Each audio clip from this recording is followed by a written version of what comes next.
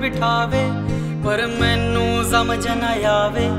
ਇਹ ਇਸ਼ਕ ਹੁੰਦਾ ਕੀ? ਕੋਈ ਰੁਸਿਆ ਯਾਰ ਮਨਾਵੇ, ਕੋਈ ਉੱਪਰੋਂ ਉੱਪਰੋਂ ਚਾਵੇ, ਪਰ ਮੈਨੂੰ ਸਮਝ ਨਾ ਆਵੇ। ਇਹ ਇਸ਼ਕ ਹੁੰਦਾ ਕੀ? ਕੋਈ ਵਾਂਗ ਕੋਇਲ ਦੀ ਆਵਾਜ਼ ਜਿਹਾ।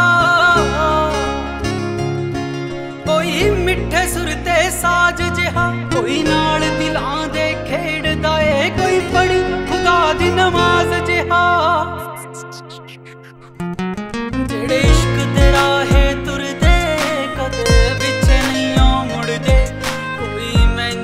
ਦੱਸ ਜਾਵੇ, ਕਿੰਜ ਜ਼ਹਿਰ ਹੁੰਦਾ ਪੀ ਕੋਈ ਪੈਰਾਂ ਹੇਠ ਰੁਲਾਵੇ, ਕੋਈ ਪਲਕਾਂ ਉੱਤੇ ਬਿਠਾਵੇ, ਪਰ ਮੈਨੂੰ ਸਮਝ ਨਾ ਆਵੇ, ਇਹ ਇਸ਼ਕ ਹੁੰਦਾ ਕੀ?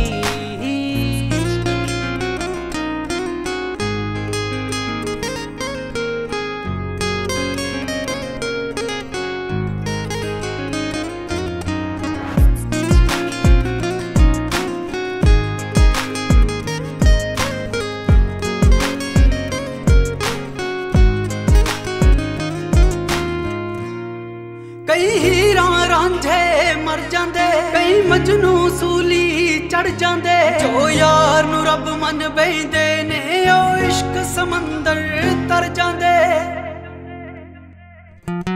ਰਾਤਾਂ ਨੂੰ ਨੀਂਦ ਨਾ ਆਉਂਦੀ, ਇੱਕ ਉਹਦੀ ਯਾਦ ਸਤਾਉਂਦੀ। ਅੱਸੀ ਸਾਲਾਂ ਤੋਂ ਚੁੱਪ ਬੈਠੇ, ਬਸ ਭੁੱਲ ਲਿੱਤੇ ਸੀ।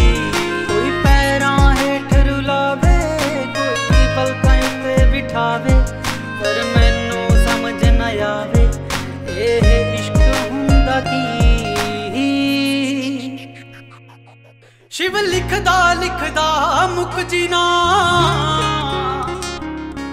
ਖੜੇ ਰੁੱਖਾਂ ਵਾਂਗੂ ਸੁੱਕ ਜੀਨਾ। ਕਿਤੇ ਢਲਦੇ ਸੂਰਜ ਵਾਂਗੂ ਤੂੰ ਉਹਦੀ ਯਾਦ ਚ ਕਿਧਰੇ ਛੁਪ ਜੀਨਾ। ਐ ਇਸ਼ਕ ਤਾਇਓ ਨੂੰ ਕੀਤਾ, ਹੁਣ ਕੁੱਟ ਸਬਰਾਂ ਦਾ ਪੀਤਾ। ਇੱਕ ਤੇਰੇ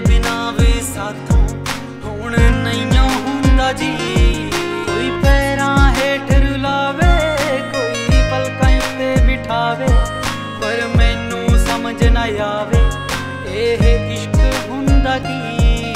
ਕੋਈ ਰੁਸਿਆ ਯਾਰ ਮਨਾਵੇ, ਕੋਈ ਉੱਪਰੋਂ ਉੱਪਰੋਂ ਚਾਵੇ, ਪਰ ਮੈਨੂੰ ਸਮਝ ਨਾ ਆਵੇ, ਇਹ ਇਸ਼ਕ ਹੁੰਦਾ ਕੀ? ਜੋ ਮੌਤ ਦਰ ਤੱਕ ਜਾਂਦੀ ਏ, ਉਹ ਰਾਹ ਇਸ਼ਕੇ ਦੀ ਹੈ ਸਜਣਾ। ਜੋ ਮਰਿਆ ਨੂੰ ਦੁੱਖ ਦਿੰਦੀ ਏ, ਇਹ ਇਸ਼ਕ ਵੀ ਕੈਸੀ ਸ਼ੈ ਸੱਜਣਾ। ਇਹ ਇਸ਼ਕ ਵੀ ਕੈਸੀ ਸ਼ੈ ਸਜਣਾ। ਇਹ ਇਸ਼ਕ ਵੀ ਕੈਸੀ ਸ਼ੈ ਸਜਣਾ।